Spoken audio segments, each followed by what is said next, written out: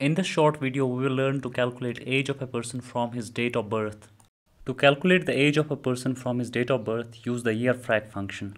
Press equal to Yearfrac, open parenthesis, then start date. Start date is your date of birth, comma, end date. End date is today, so use the today function. Then close the parenthesis and hit enter. So this is the age of the person from his date of birth.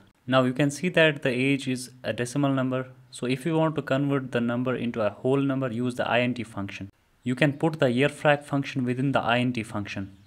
So use int here open parenthesis then a parenthesis at the close of the function and press enter.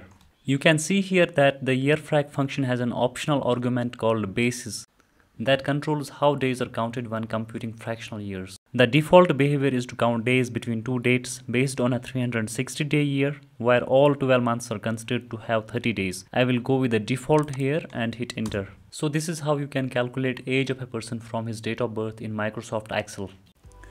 I hope this video was helpful. If you like the video, please give it a thumbs up. Keep supporting, subscribe the channel. Thanks for watching.